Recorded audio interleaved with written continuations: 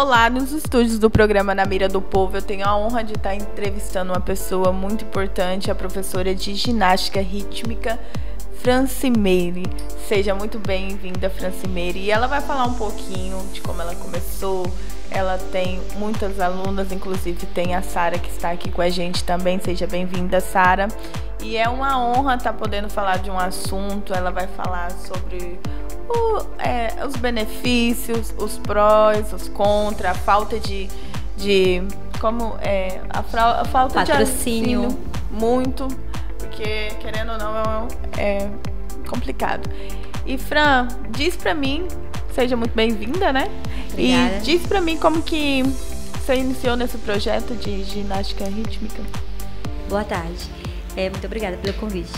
É, eu comecei em 2014 na Escola Estadual Dom Pedro I, onde verifiquei que as alunas tinham bastante habilidade, potencialidade para ginástica rítmica.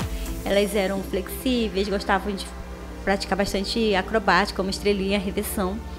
E aí eu perguntei se elas queriam conhecer a ginástica rítmica, porque trabalha bastante aspectos motores né, da criança, da, das pessoas. E elas disseram que sim. Então eu apresentei através de vídeo e comecei a ensinar o básico para elas. E ainda fiz outra proposta de montarmos umas coreografias para apresentar para o Dia das Mães.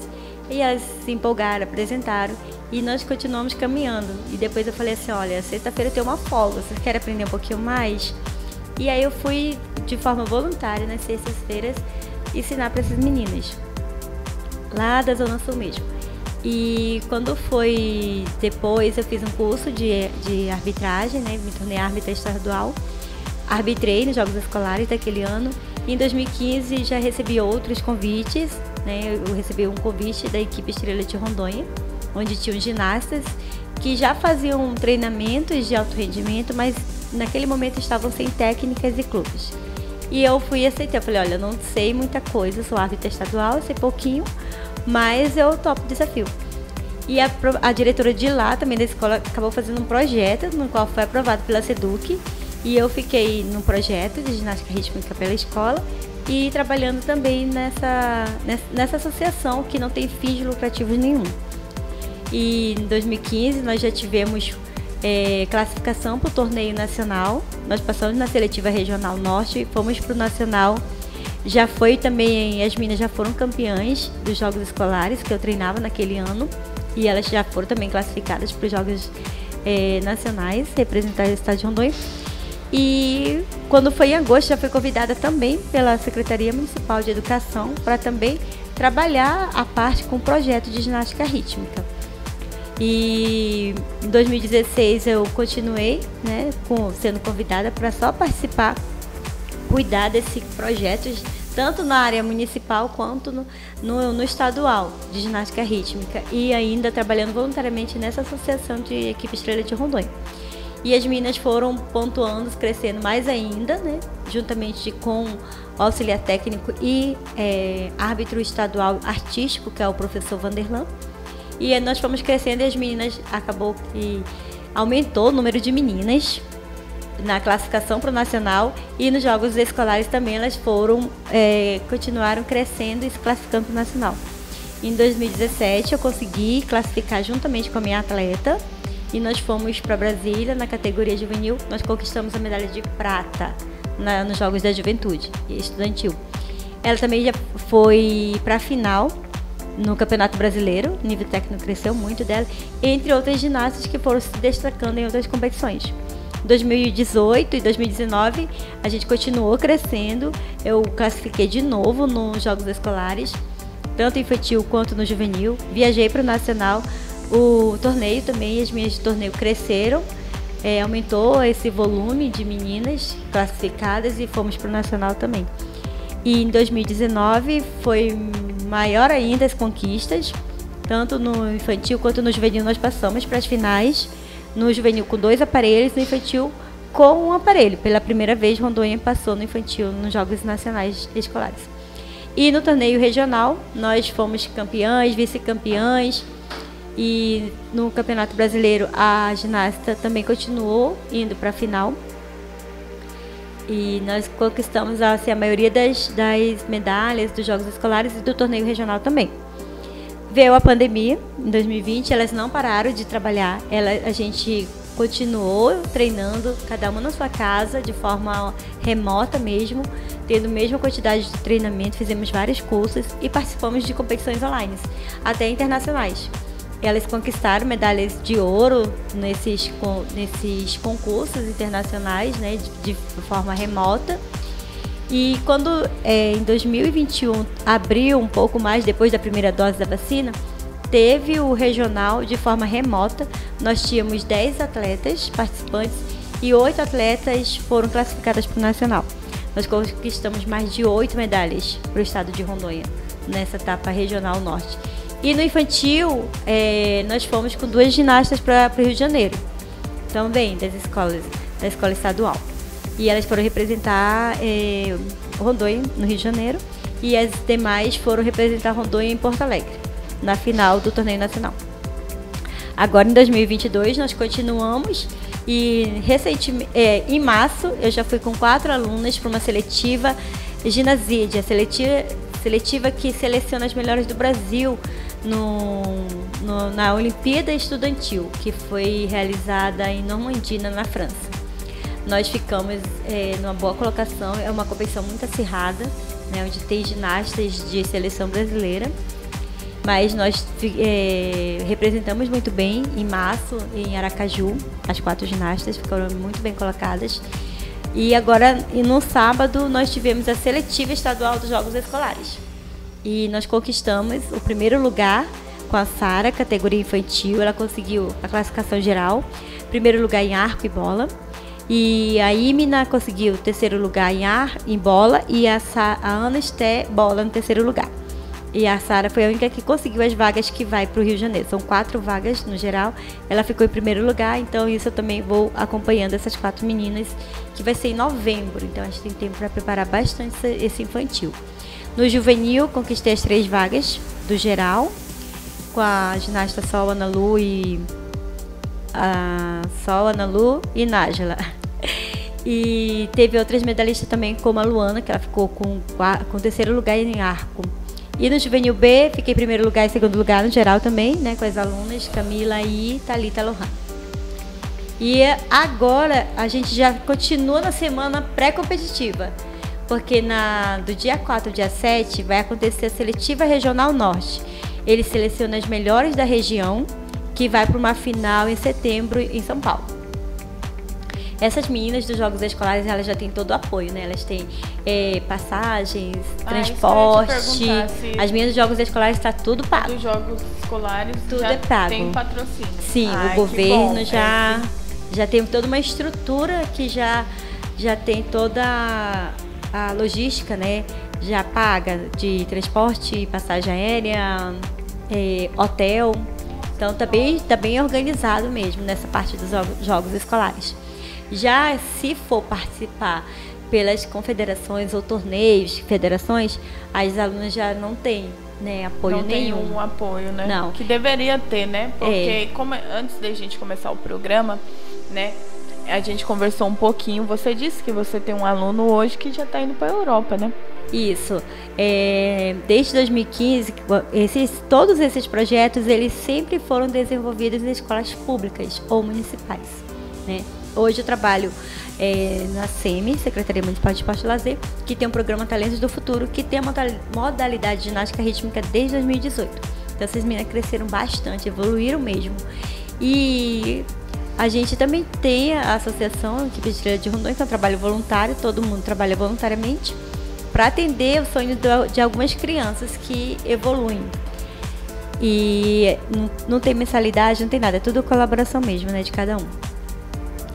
E essa equipe, ela tem sete ginastas inscritas e uma não vai poder ir, né, por questões de saúde, e seis ginastas vão. Elas irão no dia 4 e dia 7 representar o estado de Rondônia e o município de Porto Velho nessa seletiva e elas é, não têm nenhum apoio né, de patrocínio.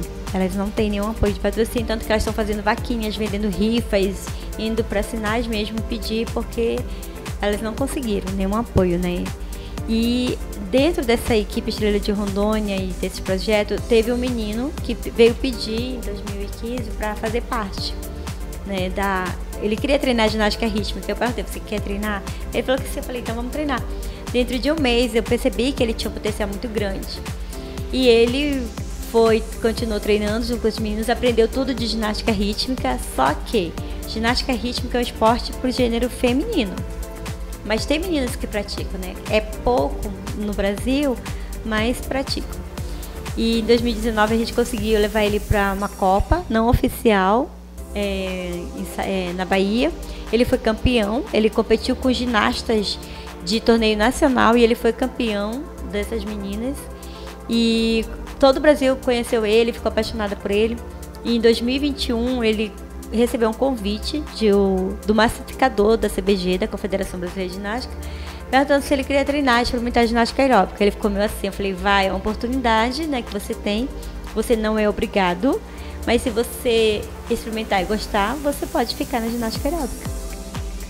E ele foi treinando, continuou, começou a treinar online. Ele treinava com o professor Vanderlan, com esse técnico de Aracaju e mais um técnico da Argentina, um árbitro de, da Argentina. E quando foi ano passado, ele foi convidado para ir, né? O técnico perguntou se eu queria que ele fosse pelo estado de Rondônia ou se ele fosse por lá. E nós prontamente é, respondemos que nós preferíamos que ele fosse por Aracaju, porque lá já tem uma estrutura de treinamento, porque tem uma estrutura de, de apoio financeiro.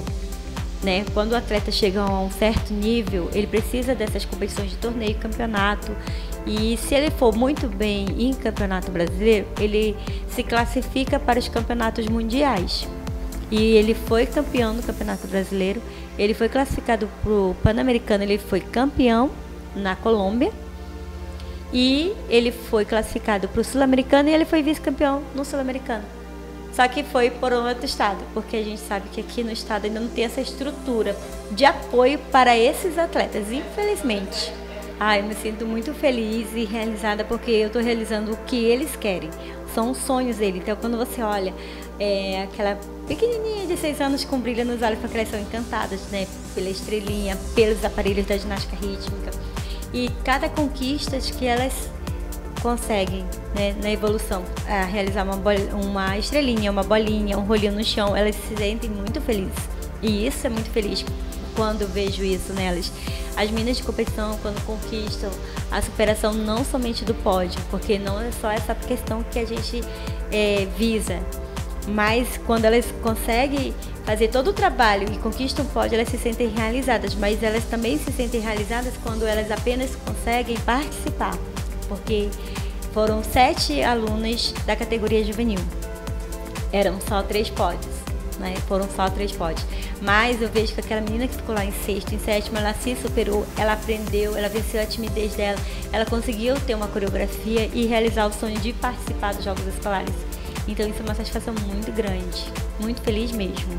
A gente, eu trabalho, eu sou funcionária pública tanto do município quanto do estado, sou professora de educação física e como eu falei anteriormente, em 2015 eu fui convidada para fazer parte, para ministrar as aulas para as meninas, né, no projeto de ginástica rítmica. Aí foi implantado lá na escola do Pedro I.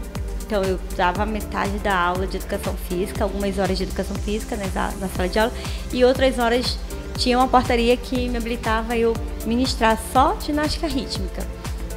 E ano passado nós fomos, aliás, em 2019, fui convidada para fazer parte do Centro de Treinamento Desportivo Escolar.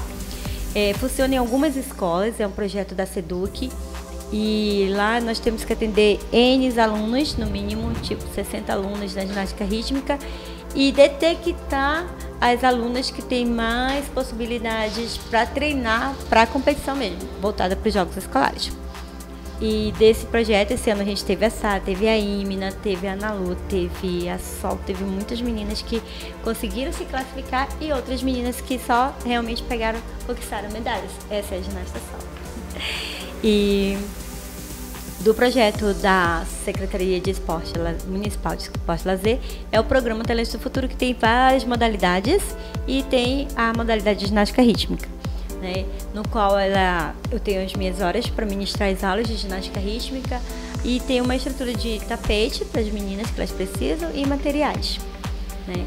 E aí nós temos as alunas da ginástica rítmica e da ginástica aeróbica nesse projeto.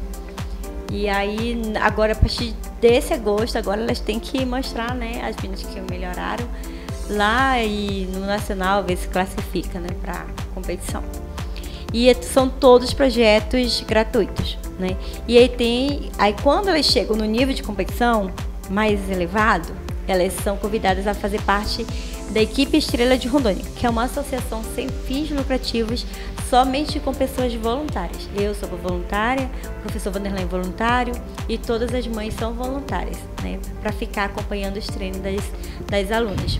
E funciona no ginásio Fidoca, e elas treinam arduamente todos os dias, de segunda a sexta, é, e até nos sábados, para evoluírem mesmo e se tornarem as campeãs, porque atualmente elas são as melhores da região norte e estão entre as 15 melhores do Brasil em nível de torneio.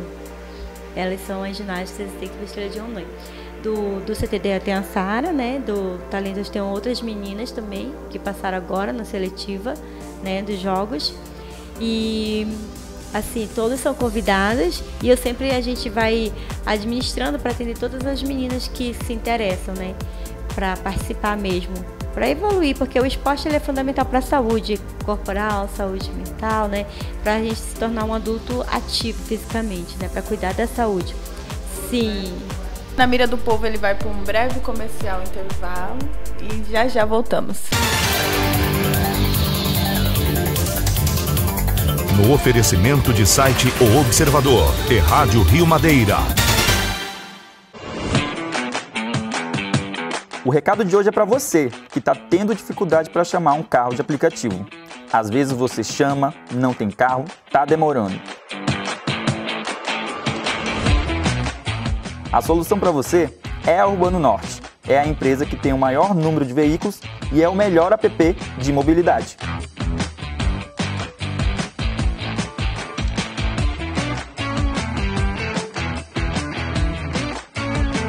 Ah, e se precisar de transporte, vá de Urbano Norte.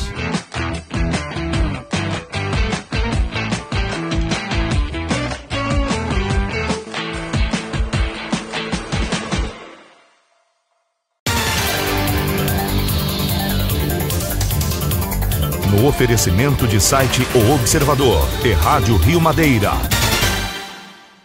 E o programa Na Mira do Povo está de volta. E agora a Fran vai falar um pouquinho pra gente da, da aluna dela, a Sol, que está indo para Aracaju, né? Um, um é, participar de um campeonato. Então, é, falando ainda dos Jogos Escolares, que foi realizada a fase estadual nesse final de semana, a Sol foi uma das que conquistou as três vagas da categoria juvenil e ela vai para Aracaju em setembro, representar o estado de Rondônia e a delegação metropolitana. Ela foi campeã, ela foi vice-campeã com aparelho Massas e, te, e, na classificação geral ela ficou em terceiro lugar, conquistando assim essa classificação para setembro. Só que a Sol também vai participar semana que vem, gente, da seletiva etapa regional norte, que seleciona as melhores da região norte, as melhores ginastas, né, até a quinta classificação geral, vai participar de uma final que vai acontecer em setembro em São Paulo. Mas para isso a Sol tem que chegar em Roraima e aí a Sol tá sem patrocínio.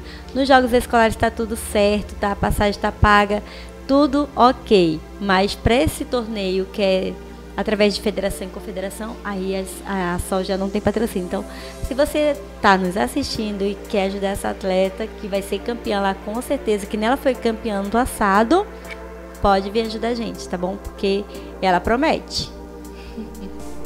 E Sol, fala pra gente com quantos anos você é, iniciou na ginástica rítmica? Eu comecei com 9 anos, bem pequenininha. Eu lembro que no começo eu fazia balé para ter mais ou menos uma base. Eu fiz balé por 6 anos, se não me engano. É, aí eu comecei com 9 e agora eu tô com 14 anos. E eu, eu esperei 4 anos para receber um sim, para poder participar de uma competição.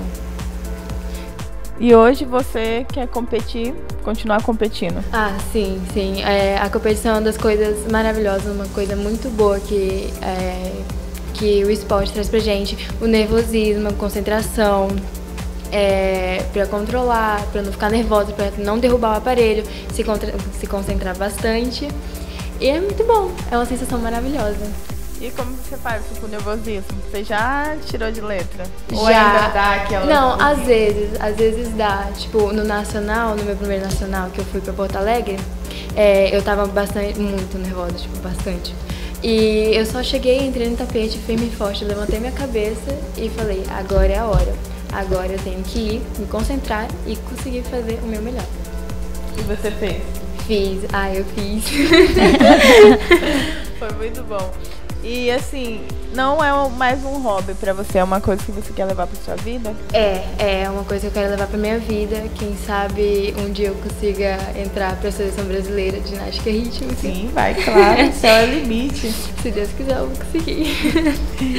e aí, você tá ansiosa para esse campeonato de Aracaju?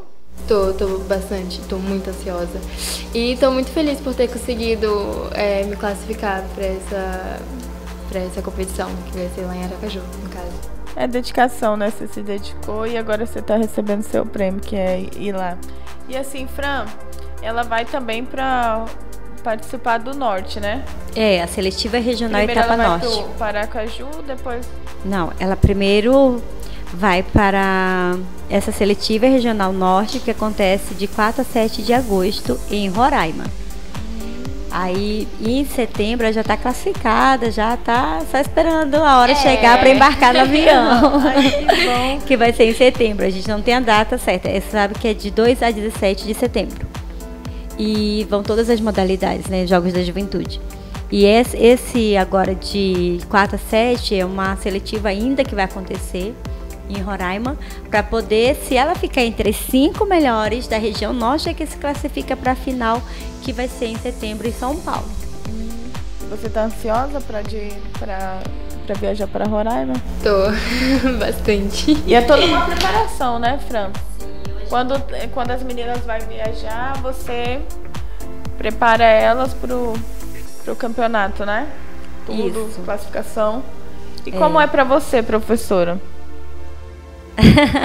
é muito satisfatório, gente. É muito trabalhoso, a gente estuda bastante. Ela, é, a gente deixa bem explicado para elas como é que funciona o código, como funciona a pontuação. É, se elas não fizerem certinho quanto que elas vão perder, a gente deixa bem claro para elas tudo, né? E diz, ó, sua nota é essa, se você acertar isso. Se você não fizer isso, você tem essas penalidades, acontece isso. E aí a gente vai conversando com todas individualmente e coletivamente. Olha, seu planejamento é esse, você precisa melhorar nisso, você precisa fazer que aconteça isso para você melhorar. Né? E assim, todas elas, elas treinam juntas e treinam assim igualmente, e aí vai da dedicação e concentração de cada uma, porque não é só uma preparação física, é uma preparação emocional também, mental que elas precisam. E isso vem com o tempo, com a experiência, né? Então, ano passado foi a primeira vez que a Sol participou do torneio regional, foi campeã, participou pela primeira vez no torneio nacional e ficou entre as 15 melhores do Brasil, a nível de torneio. E esse ano, de novo, está lutando e está conseguindo as vagas, né? Então, falta só essa agora da seletiva em Roraima para ela ser classificada. Para ser classificada para o Nacional. E tem grandes chances, né? A gente continua trabalhando muito. Eu até falo que esse domingo, no outro domingo, é de preparação, né? Porque vai ser já dia 4, 5 a 7. E é preparação esses dias, né? Todos os ajustes para que a gente faça algo bem próximo do perfeito mesmo para elas conquistarem essa vaga para o nacional. Quando né? as meninas viajam assim a, a torneio, campeonato, a senhora vai junto também? Sim. A senhora acompanha elas? Isso. E como a senhora trabalha essa é, a questão do nervosismo. Porque querendo ou não, tem. Até eu, eu entrar pra gravar, eu fico assim, às vezes. Agora que eu já tô voltando pro ar, eu já tô melhor, mas dá um nervosismo. é, o momento que eu acho que eu fico mais nervosa é quando elas entram, porque é o momento que eu não posso falar nada. É. Só assistir. Acabou, agora eu tenho que assistir, tanto que eu coloco uma toalha na minha mão para eu não articular, porque eu sou uma pessoa que falo muito e articulo muito com as mãos. E aí é, é assim, vamos lá. Trabalhou, trabalhou, tem que mostrar o trabalho agora. Acima do nervosismo tem que ser o trabalho. Né? Então a gente faz toda uma preparação antes, né? Como elas passaram nessa seletiva agora essa semana, eu já falei para elas, tiveram um dia de descanso e essa semana a gente está tendo um descanso, mas um descanso ativo né, para que elas não façam, não tenham tanto impacto e, e venham se machucar por conta da sobrecarga de treinamento. Então a gente tem uma semana ativa, mas menos intensa, porque elas já vão na outra semana já estar competindo. Então é um intervalo muito curto, né? Então a gente precisa ter esse cuidado de não lesionar elas fisicamente e prepará-las já psicologicamente também para que tudo ocorra bem, né? Porque esse conjunto esteja preparado bem e eu tenho que analisar e conhecer cada uma para que eu possa desenvolver. Eu não sou psicóloga, mas a gente tem, teve uma, um pouco de estudo né, na grade curricular acadêmica. Mas eu falo, se vocês puderem ir ao psicólogo para vocês conversarem e eles orientarem um pouquinho mais, é muito bom.